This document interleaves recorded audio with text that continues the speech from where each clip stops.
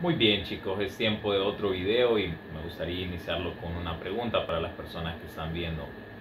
¿Han estado ustedes en alguna situación en la que, en esta situación incómoda en la que por X o Y la persona que están, con la cual ustedes están sentados o lo que sea, no saben si está de su parte, si es un amigo, si está posando falsamente como un amigo, un enemigo más bien?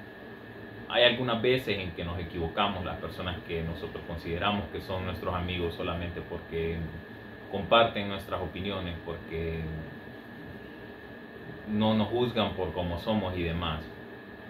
Ah, pero no siempre es así, no son esos siempre nuestros amigos. Yo les voy a, a dar este ejemplo. Imagínense, pensemos en la persona A, llamémosle Juan. Juan tiene un serio problema con el alcohol, no suelta la botella en semanas.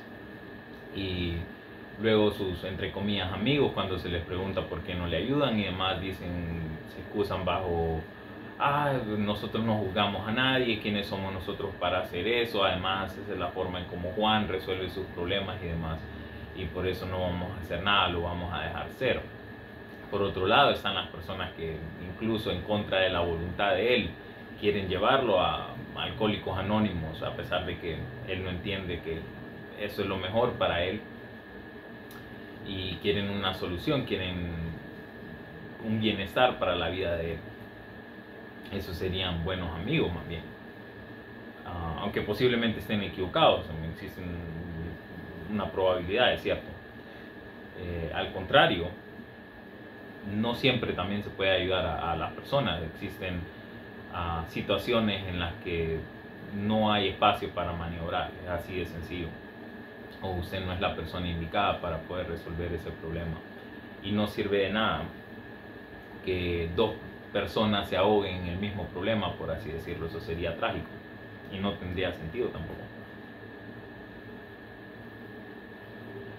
Verdaderos amigos no son aquellas personas que ah, cuando a usted le pasa algo malo, se alegran a sus espaldas de que le pasó, o si le pasa algo bueno, o no le ayudan a celebrar sino que falsamente también se alegran, ¿verdad? Que algo malo le pasó a usted y también que algo bueno no les pasó a ellos, porque a usted sí, a mí no, básicamente esa sería la lógica egoísta. hay personas que apuñalan a otros por la espalda, hay personas que abandonan en momentos de necesidad y es así, es como funcionan las cosas algunas veces ese tipo de verdades que son difíciles de, asimilar. Ah, paradójicamente también están eh, los enemigos, ¿verdad? las personas que están en contra de nosotros, las personas que quieren destruirnos y quieren vernos fracasar. Esas personas también ayudan a que uno se mantenga mucho más objetivo, también se mantenga mucho más ambicioso al momento de obtener metas para personas que somos rebeldes, que entendemos ese concepto, sabemos que un enemigo vale más que un amigo en muchas ocasiones, por esa misma razón, porque nos mantiene con los pies sobre la tierra, nos mantiene ah, pensando claramente y no nos permite básicamente holgazanear, no nos permite quedarnos atrás, lo cual es algo bueno.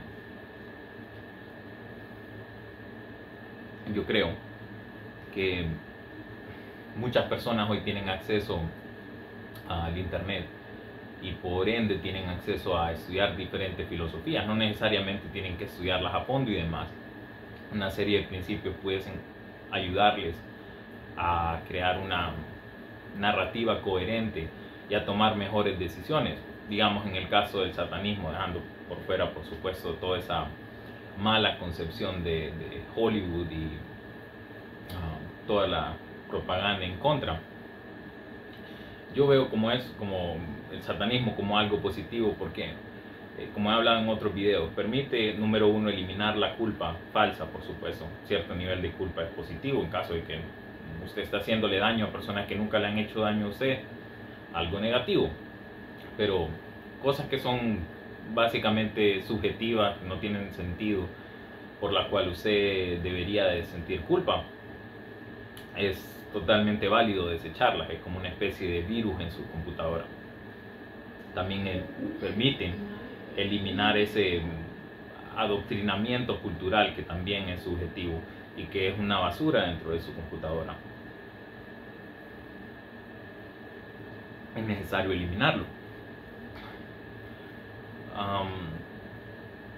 pero sí, en sí todos estos problemas son necesarios para que las personas crezcan. El ser humano ha enfrentado la adversidad, llámese en forma de ser humano, objetos, otra serie de dificultades.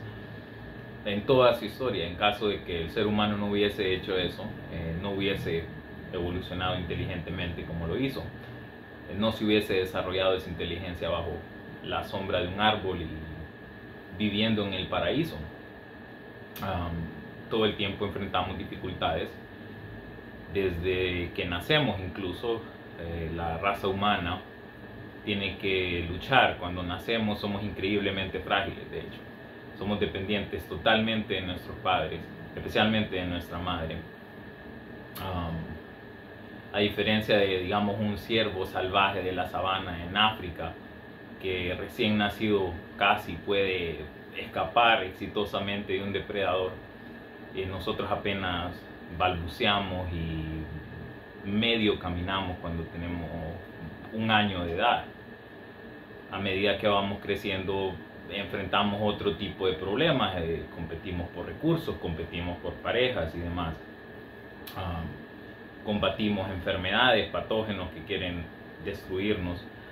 a medida que envejecemos también enfrentamos una serie de problemas, nuestro cuerpo está haciendo todo lo posible para no morir. Y hoy por hoy, bueno, pues la medicina moderna nos mantiene artificialmente vivos hasta una edad bastante prolongada para quienes tienen la oportunidad de, acceder a ella.